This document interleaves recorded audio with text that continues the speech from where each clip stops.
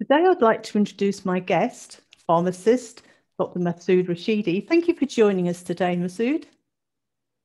Oh, uh, thank you for having me, Linda. I uh, appreciate the time, and uh, it's always good to be in your program.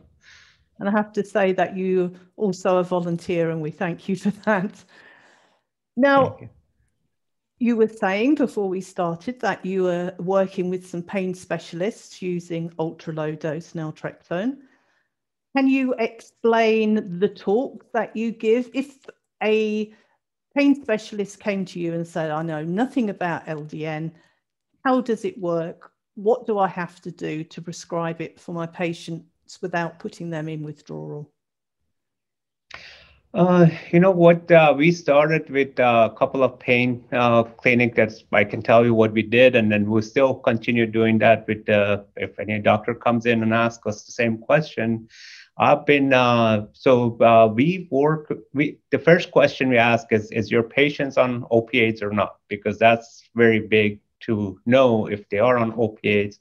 Uh, then we need to start them much lower dosing, as you know, like start at ultra low dose or kind of microgram dosing instead of just a regular low dose naltrexone.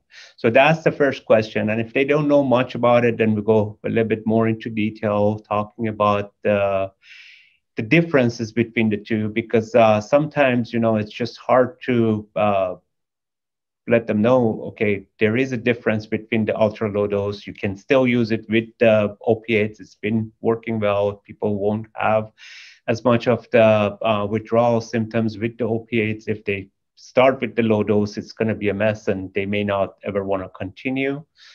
So and then also we'll bring out some of the patients that we've had experience with and what we've done. So I kind of uh, give them the uh, information how it differs from ultra low dose to low dose, and then of course the regular naltrexone dose. That's where we start, and then. Um, we help them with the dosing a lot because a lot of doctors like okay what do i do now okay i have a patient I I like to kind of work with them a lot just because they come in and uh, a physician asks, okay, what what do I do now? So we'll go through the patient's history and find out what they're on, what they're doing, and then we come up with the uh, ideal dosing that uh, the, they need to be on, and then we'll recommend it. And if the doctor's okay, then we'll go on from there and making, because we do a lot of different dosing, so it kind of helps to uh, like bring that up to the physician or the prescriber just so they know that there are so many options there's not just capsules we can do a lot of other stuff and different uh, how low we can go and how high we can go on compounded products mm-hmm. so if the doctor has a patient on a cocktail of painkillers and many of them are on several different painkillers, not just one.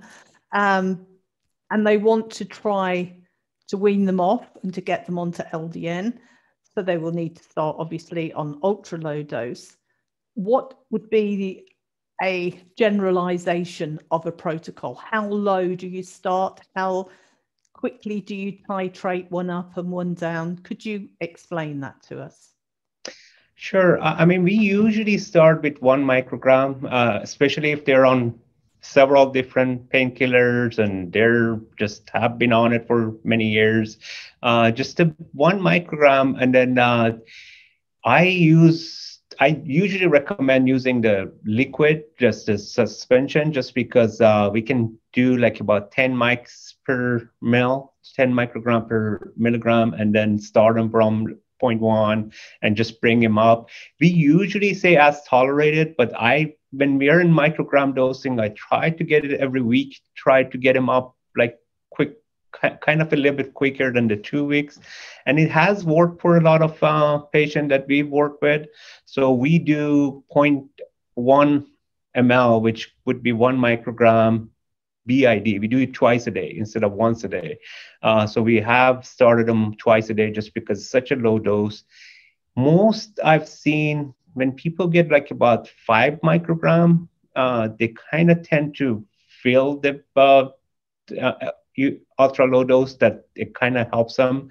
Especially mostly what we hear it just uh, it kind of helps them with more of the pain relief than especially with the one that they even take all these opiates and they're not having pain relief they get better pain relief. And then also psychologically and mentally they feel better. They kind of uh, that they're not as anxious that's what i hear from a lot of them and then that's when we get to five microgram twice a day and we go up from there they're like that's where we see some of them drop one or two doses of the opiates up to when we get to 10 microgram, we get more of people dropping a dose or two. Uh, so it's been, that has been our experience. And I've worked with a couple of uh, big pain clinic and they have seen the same result.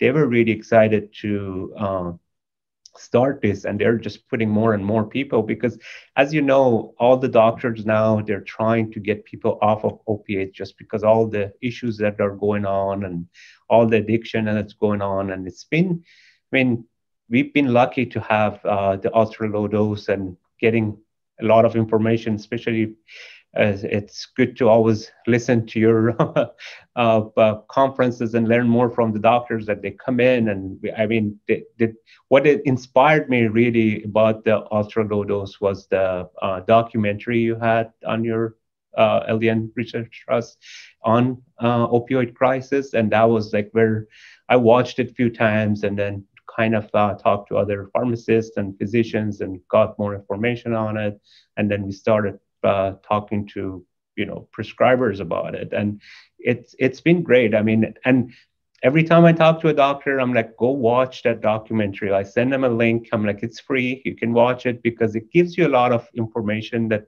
you kind of want to see from the patient's perspective, from the doctor's perspective. It's it's a great uh, uh, tool for me to kind of get them interested and excited about it because it's it works. I mean, I've seen for a lot of people works very well.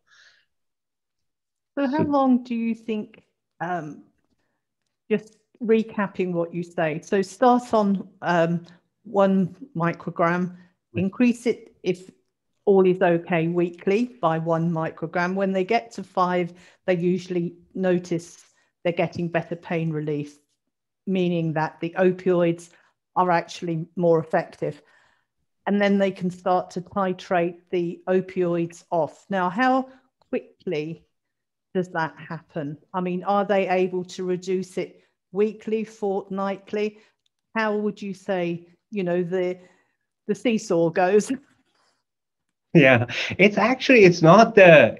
I mean, it's it really patient dependent, as you probably know. But then a lot of times it, it's not a quick just okay let's get off of opiate tomorrow because it does take a while. I mean i have seen people like take about six months to almost six to eight months to get like most of opiates out and they're just getting close. It depends on how much they're taking too. There are people that they take like I don't know, 30 oxy and 20 Norco, and there are so many different things that they take by the time when you bring them down to lower dose.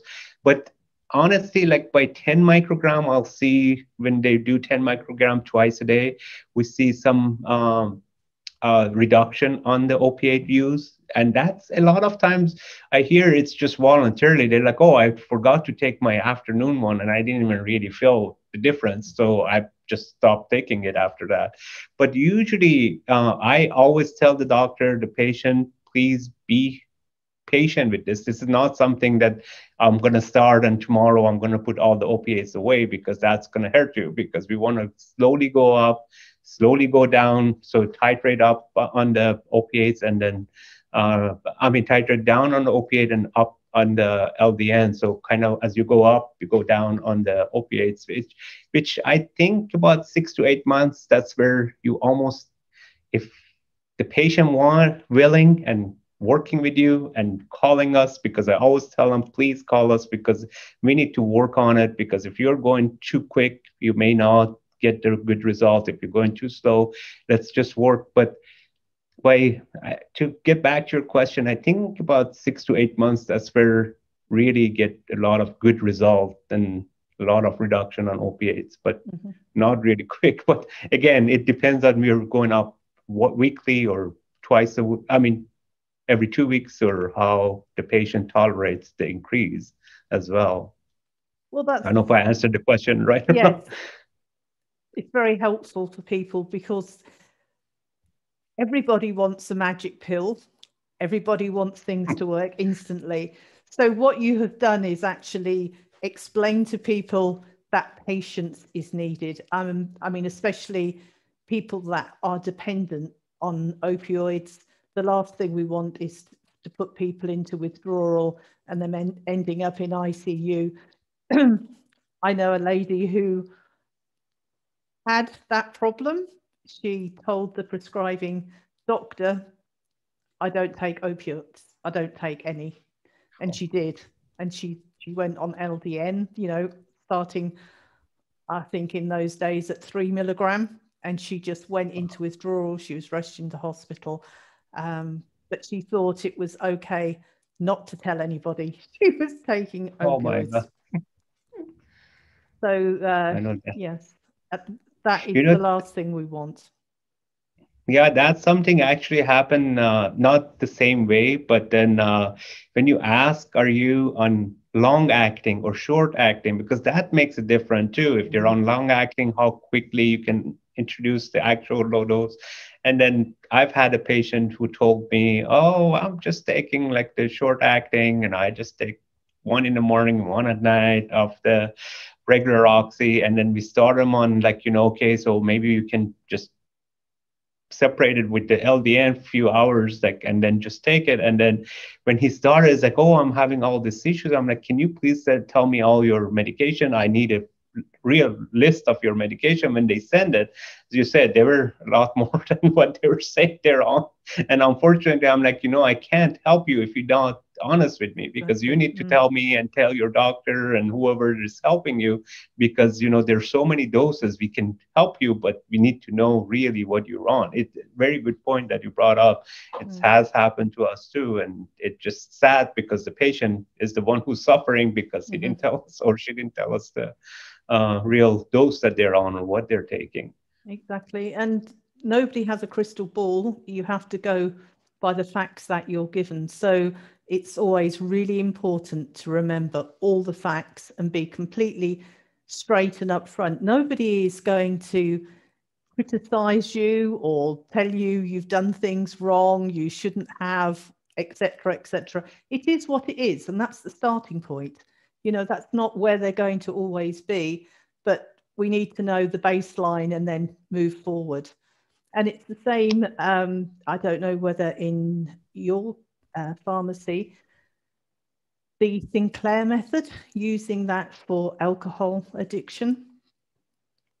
And that has proven to be remarkable. I mean, have you got patients on full dose naltrexone for the uh, Sinclair method?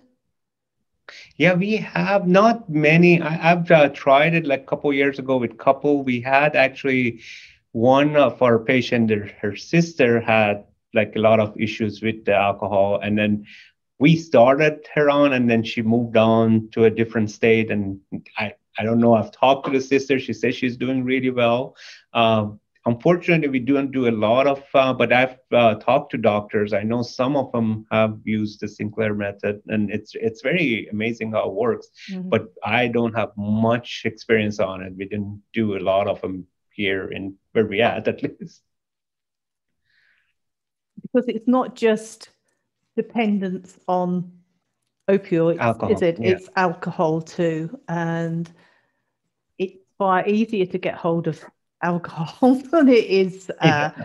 opioids. I don't know what it's like in the US. I'm sure it's the same as it is here, that you can just go in any supermarket or any gas station that has got a license to sell alcohol. It's very easy to to get hold oh, of. Yeah. And I mean, it's it's addictive. Um, one thing we did, like uh, you know, with one patient, they were taking like every time he had to go to a party or somewhere that he knew there was going to be alcohol, he would take a 1.5 milligram LDN like right before going there, and he kind of reported that he's reduced his out. So he would go and then still drink, but maybe one alcohol, one you know cocktail or two instead of he used to do six or seven. So mm. it has helped him a lot. We've had one patient that we did that, and then he just carries like you know uh, some people pill addicted to narcotics. He does it when whenever he goes somewhere that he knows there's going to be alcohol, and he's like kind of calmer on not wanting as much as you know he used to drink before so i mean any addiction it's ldn even with food addiction you know ldn works if you if you have any kind of addiction we've seen good result with uh, low dose naltrexone as well mm-hmm. and you were saying the different forms that your pharmacy uh, compounds ldn into would you like to go through those for us we do, uh, so most common one, of course, everybody uses is capsules. We do a lot of capsules, but we do different uh, fillers pay, based on patient preference. And uh, also we do uh, suspension in oil in uh, or in like uh, aqueous form in the water form. And then also we do lozenges or troches, whatever people call different things, so sublingual form, which a lot of times helps with people that they have GI issues, like uh, uh, and they can't take the capsules or something. As a filler bothers them, we've seen really good results with the troches. And the good thing about troche is sometimes you can do a higher dose and they can cut in four pieces when you do larger troches. So that has helped just to with the titration. If you make it like four milligram, then they get one milligram, two, three, four uh, by the time they get to the full dose. That has helped. But one of the biggest one that we've had really good success is the topical with uh, autistic kids. That has been like really good result just because um, with autistic kids, you know, as you know, they're really hard what form of uh, you know, sometimes they don't like the oil consistency, sometimes they don't like the taste. But with this, it's been like really helpful with the parents because they said, oh, what when they go to sleep, I just put it on their wrist and they don't even know we're using it. And they can tell the difference when they forget to put it one night or something with the kids. So it's been really good because it's just so quickly you can apply and works really good, and they don't have to worry about just you know uh, making more uh, stress on the kid just trying to have them take it orally. And that has helped a lot, especially a couple of doctors when they found out we can do that. They've been really interested and they've been using that a lot more often. Mm-hmm. So, is your pharmacy sterile and non sterile? Yes, we do both. Yeah. So, do you do the LDN eye drops and the nasal spray? We do the nasal spray, but we have not done eye drops just because it's a lot of uh, regulation in California. With that, we need to have a lot of different studies. I haven't found a very good, uh, like you know, way to uh, get that on board. I've I've taught thought about it and, and, I really want to do it. We've been looking into it, hopefully soon, but we haven't done the uh, the eye drops yet, just because it's a, a, little bit different in California and in some other states that we have to follow a little bit more guidance and rules in here. Mm-hmm. So hopefully soon we're thinking about it. So, well, I'm told they're very good for dry eye. Um, actually, during lockdown, I started to get gluey eyes in the morning. My eyes were very, very gluey and I had to wow. bathe them and I couldn't focus properly. And I was diagnosed over the phone. we still can't go and see somebody. Um, and it was a nurse prescriber, and she said that I had uh, dry eye.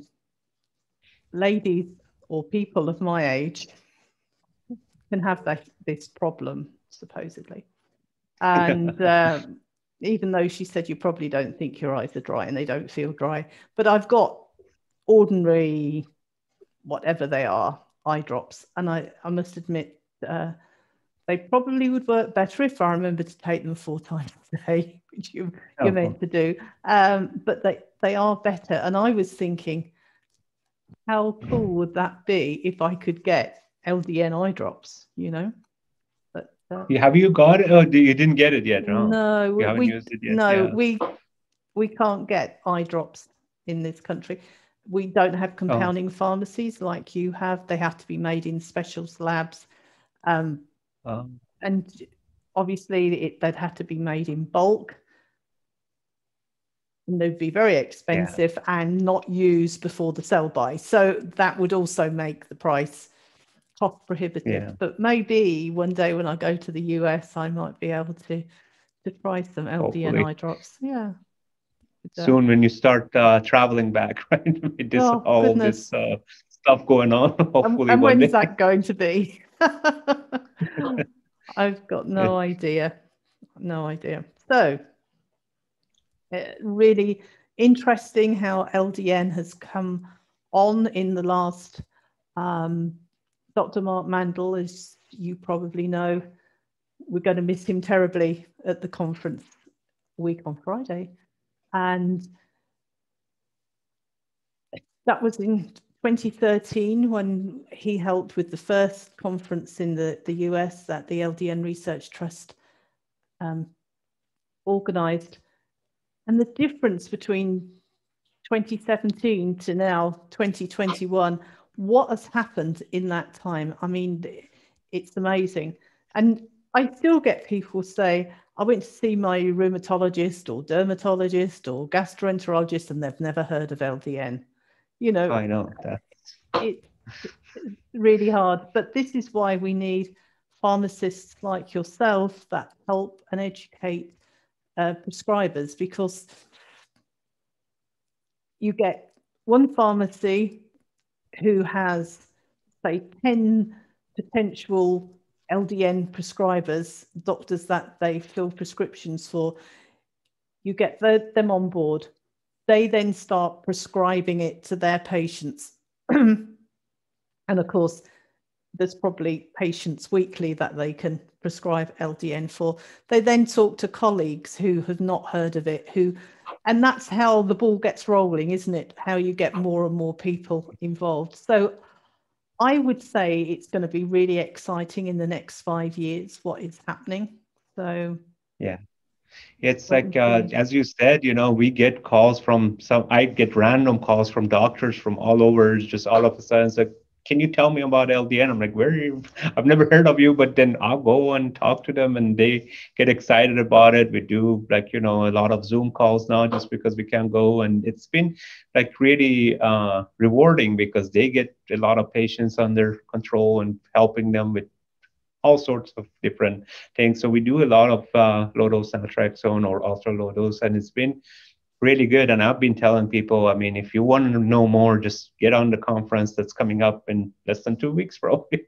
and uh, it's just going to be exciting because you learn a lot more there. And it's just uh, great. Uh, that's how I started learning about it like years ago when you had it.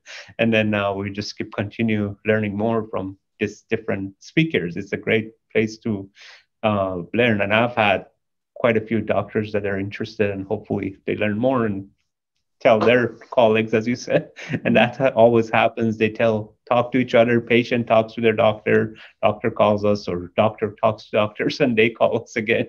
So it's been pretty good. I mean, it's. It, I'm glad that we can rely on your. Um, all, all the uh, speakers that you have and you know they they're always helpful and it's been great to work with the whole LDN uh, community I mean, everywhere. Yes, the there is a lot of misinformation out there, and we try and make sure that everything we give is factual, backed up by research and clinical experience from you know our speakers advisors. We always put the good of the patient first you know um, the ldn research trust was started by patients so it is really a, a patient driven thing. Yeah. So, yeah, exactly. really uh, amazing. Well, thank you for sharing your experience with us today. And we will have to have you back again another time. Sure. Thank you so much and have a good afternoon. And take good seeing you again. And hopefully, we'll have some more coming up soon with your conference.